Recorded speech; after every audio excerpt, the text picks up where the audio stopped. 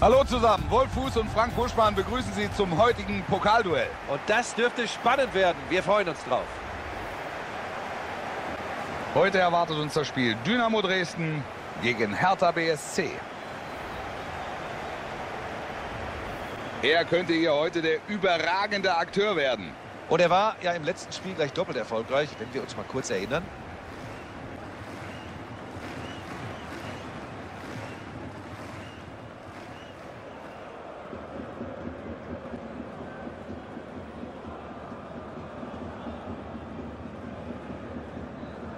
Und da sehen wir, mit welchem Personal die Heimmannschaft heute ins Spiel geht. Also die Richtung dürfte bei der Formation heute klar sein. Ja, ganz klar, nach vorne soll es gehen und zwar aus dem Mittelfeld.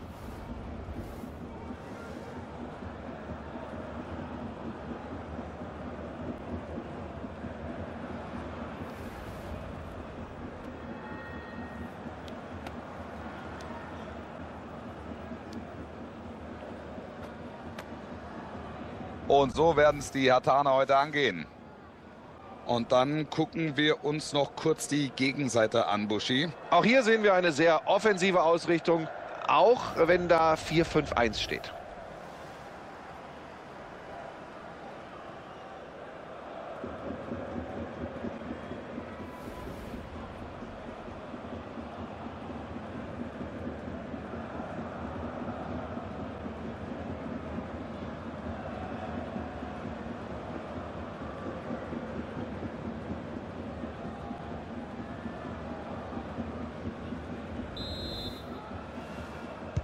Und jetzt geht's los. Benatelli. Hammerleinen. Sie haben den Ball. Einwurf jetzt. Gonter. Benatelli.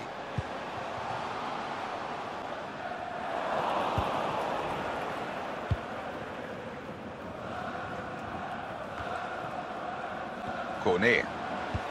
Super Pass. Er zieht ab. Da geht er hin und kann den Schuss abfangen. Plattenhardt. Rickig. Weg ist der Ball. Jetzt kann er flanken. Flanke jetzt. Da kann der Abwehrspieler klären. Gut gemacht. Fängt diesen Ball ab.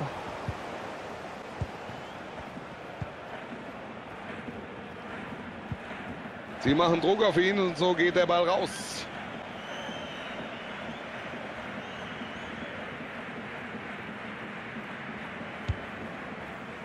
Pekarik.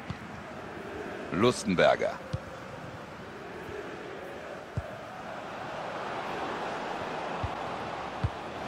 Ja, schwacher Ball hier.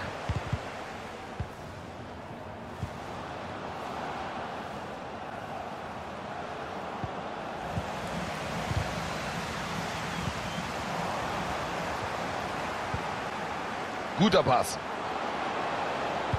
Da ist die Hereingabe. Das hätte gefährlich werden können.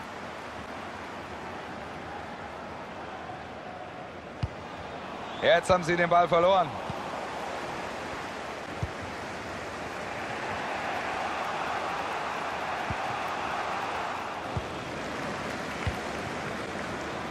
Ebert. Gutes Tackling. Duda. Jetzt vielleicht die Chance für den Konter. Nee, da waren sie einfach zu langsam. War eigentlich eine gute Konterchance, aber jetzt ist die Abwehr wieder zur Stelle. Da ist die Flanke. Flanke bleibt hängen. Gut geklärt, das war wichtig. Auf Außen ist Platz. Gut aufgepasst vom Torhüter. Den Ball hat er.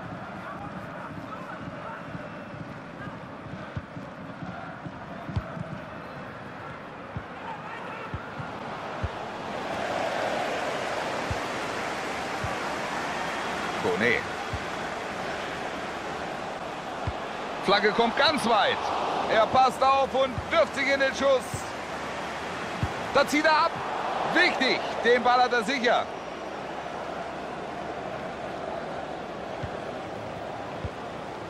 Schellbrett. Plattenhardt. Kalu. Sie kommen über den Flügel.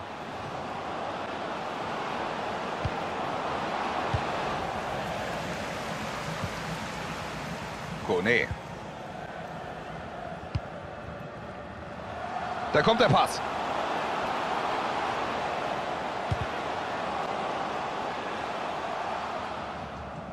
Es gibt hier Einwurf.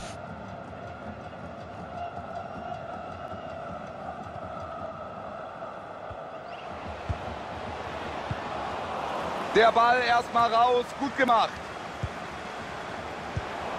Lustenberger.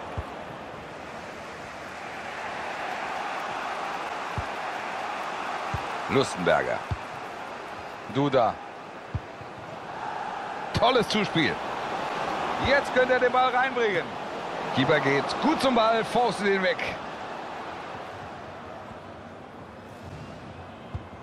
Da kommt die Tafel, zwei Minuten Nachschlag.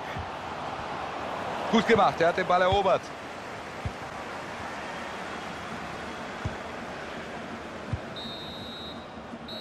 Keine Tore zur Pause für beide Teams, vor allem offensiv. Sicher noch Luft nach oben.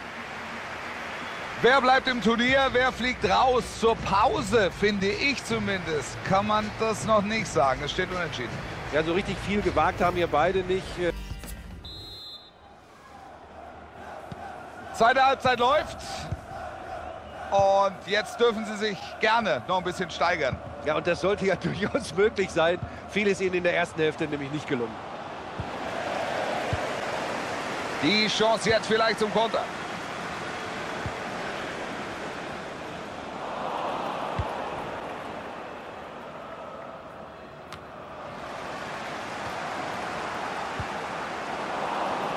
Ihm fehlt noch so ein wenig die Bindung zum Spiel. Wenn ein Mann von dieser Klasse so schwach spielt, dann hast du es als Mannschaft schwer. Sehen wir ja auch am aktuellen Ergebnis bisher nur Remy.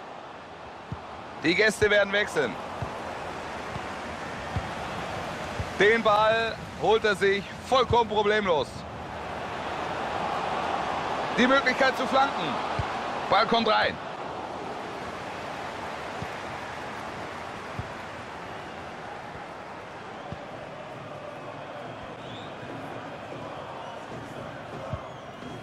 Lustenberger. Schöne Aktion.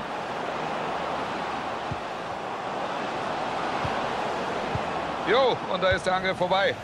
Jetzt ist Platz für den Konter. Können Sie was draus machen aus dieser Szene? Kone. Das macht er gut. Das ist noch gefährlich. Es gibt hier die Ecke. Die Fans hoffen auf die Führung jetzt bei dieser Ecke. Bei der Hertha gibt es jetzt einen Wechsel. Ja, der neue Mann soll natürlich jetzt hier nochmal neue Ideen bringen.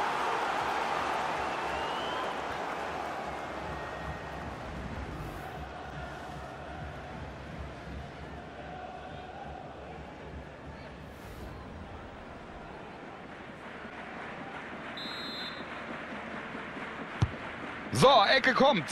So, erstmal geklärt nach dieser Hereingabe. Und jetzt ein Schuss. Der Abwehrspieler wirft sich in den Schuss. Weiter geht es mit einem Einwurf.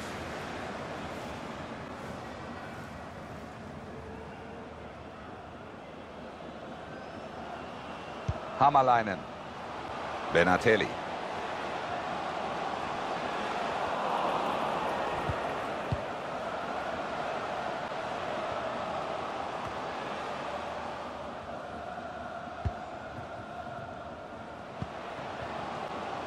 Ebert. Schöne Bewegung. Er versucht's. Mit dem Ball hat er gar keine Mühe. Und jetzt sind hier noch 20 Minuten zu spielen.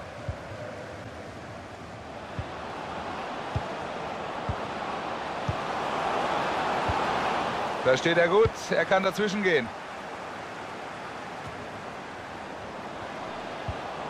Kalu. Davy Selke. Ja, das sah also gefährlicher aus, aber der Ball ist erstmal weg. Pekarik. Jetzt hat er Platz, jetzt muss er flanken. Er schießt.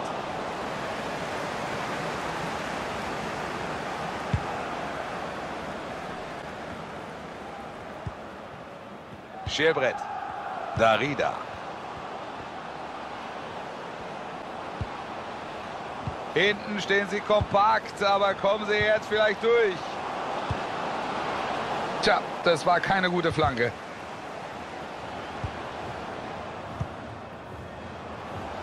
Nein, wer soll diesen Pass kriegen? Weg ist der Ball. Ich sehe Bewegung auf der Bank. Es gibt gleich den Wechsel. Das war nicht gut vom Abwehrspieler. Jetzt schießt er. Und der Ball geht nicht rein. Ach, aber was für eine Szene und was für eine Chance. Da sind sie gerade noch zur Stelle.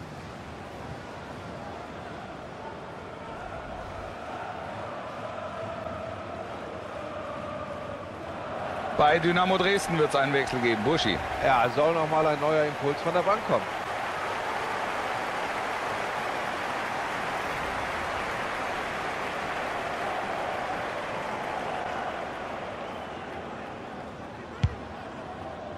Sechs Minuten sind noch zu gehen. Plattenhardt. Schälbrett. Davy Selke. Das sah durchaus sehr vielversprechend aus, aber dann hatte doch toller Pass. Und die Situation ist wieder bereinigt. Darida.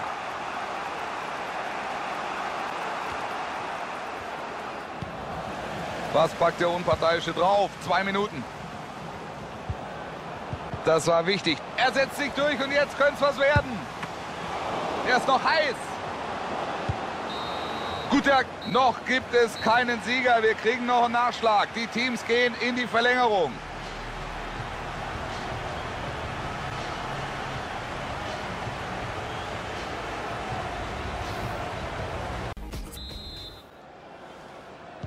Jetzt gibt es hier die Zugabe. Die Verlängerung hat begonnen.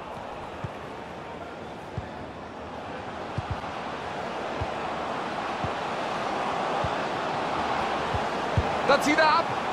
Um ein Haar hätten sie die Nase vorn gehabt, aber Chance vergeben.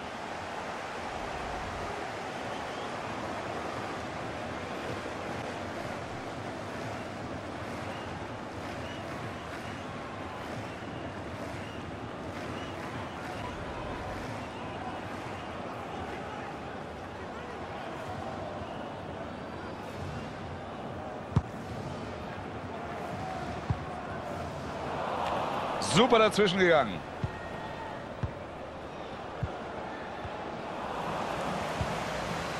Kalu. Gibt's jetzt die Gelegenheit? Haben wir natürlich schon besser gesehen, keine Frage. Schauen wir uns noch mal eine Aktion von ihm an. Toller Spannschuss aus guter Position, leider knapp vorbei.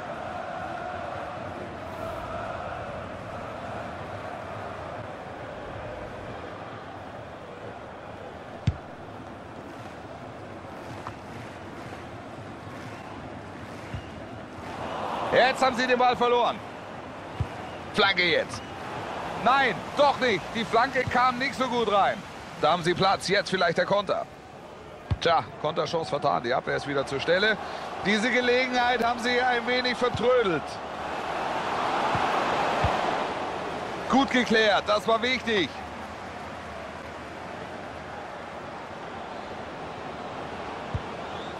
Seine Pässe kommen heute richtig gut an.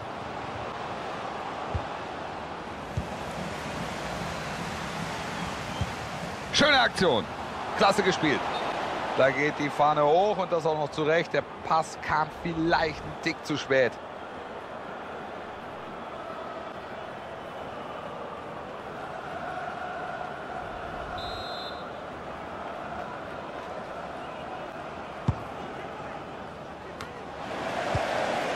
Vielversprechender Angriff, aber dann kommt doch noch einer dazwischen.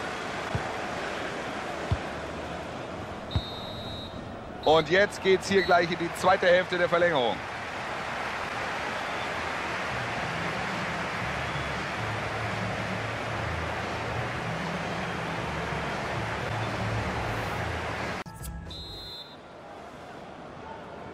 Weiter geht's. Die zweite Hälfte der Verlängerung läuft.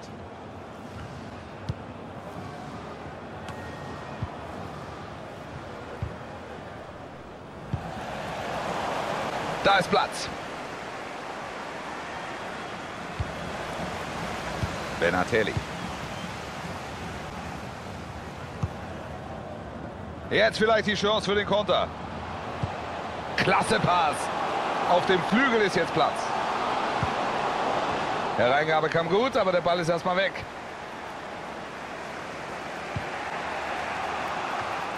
Chance vertan. Die Kugel ist weg. Ebert. Und hier wird es Einwurf geben. Rickig. Seine Zuspiele sind heute sehr genau. Die letzten fünf Minuten der Verlängerung sind angebrochen. Er kann ihn reinbringen. Den Ball hat er gut geklärt. Viel ist nicht mehr auf der Uhr. Drei Minuten noch, dann ist auch die Verlängerung rum. Davy Selke. Kalu. Das könnte die letzte Gelegenheit sein. Wenn sie jetzt treffen, gewinnen sie das Spiel. Da lege ich mich fest.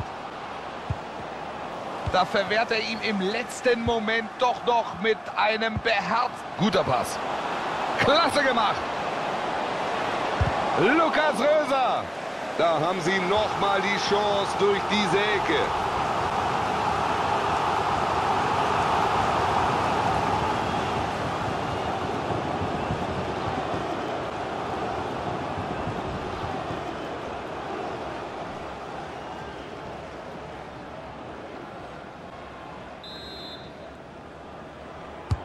Ecke kommt.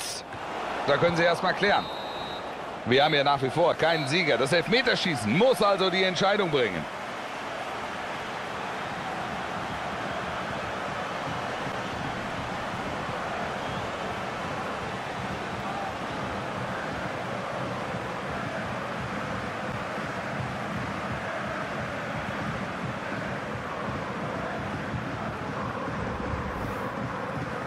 Kann losgehen mit dem Elfmeterschießen. Das ist mal ein Elfmeterschütze.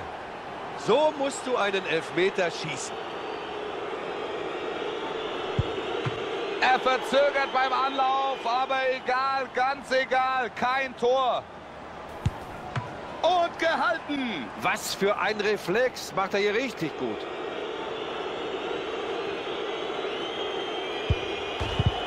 Von der Latte ins Tor. Aber mit ganz viel Glück, Wolf. Und er ist nicht drin. Boah, da reagiert er super und kann den Ball abwehren.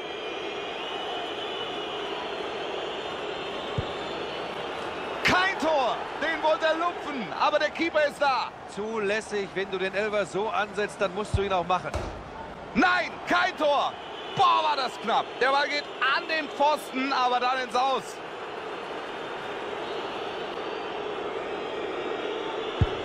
Er zeigt keine Nerven, der Ball ist drin. Da hat er alles richtig gemacht. Das muss ein ganz schöner Druck sein. Trifft er nicht, bedeutet das die Niederlage. Er hat ihn gehalten.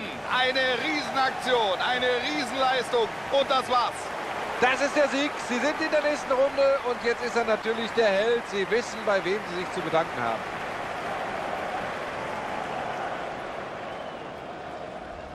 Super gehalten, der Elfmeter. Wow, was für eine sensationelle Reaktion. Elver pariert.